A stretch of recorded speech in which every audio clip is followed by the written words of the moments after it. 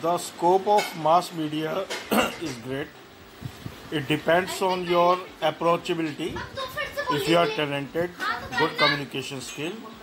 and ability to communicate uh, to society very effectively, so you are you can be uh, you must you must success you must get success in this field and uh, there are many opportunity in this line in corporate sector government sector private sector mncs companies all require all uh, companies require